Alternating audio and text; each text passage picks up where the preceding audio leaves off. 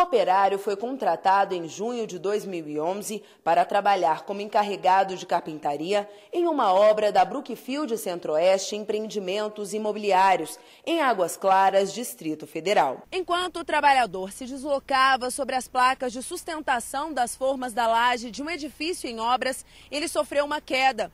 Havia uma placa que não estava bem fixada. O operário chegou a ser levado com vida ao hospital de base em Brasília, mas não resistiu aos ferimentos. O Valdemar, ele já tinha 24 anos de experiência profissional na construção civil, né? E ele, ele se deslocava sobre as placas de forma e, e veio a cair, né? Vindo a óbito, que a cabeça atinge uma, uma barra de ferro. E aí ele faleceu de traumatismo craniano. As empresas responsáveis pela obra afirmaram que o acidente foi uma fatalidade e que o trabalhador estava usando todos os equipamentos de proteção individual.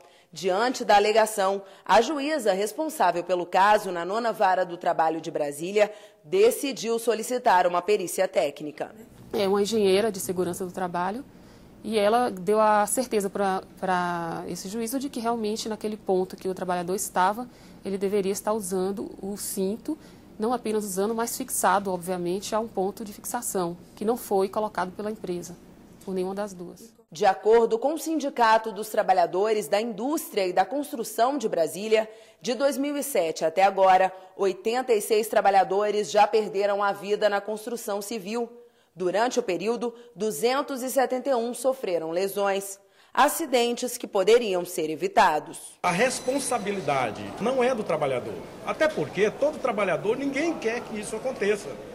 E ele está trabalhando ali para levar o seu pão de cada dia, precisa alguém que está ali olhando por ele. E para que venha evitar esses tipos de acidentes. A Brookfield Centro-Oeste Empreendimentos Imobiliários e a Brilhar Construções devem indenizar a família do operário morto por danos morais e materiais. A decisão foi de que realmente a culpa do acidente foi exclusiva e grave da empresa, pois essa, esse ponto de estação tinha que ser proporcionado para o trabalhador e que não houve culpa da vítima. Nesse caso, foi deferida a indenização consistente em pensão vitalícia é, para a companheira e o filho até completar 25 anos ou desde que venha se casar ou viver em união estável, que demonstraria que ele estaria é, saindo da dependência do, do genitor falecido.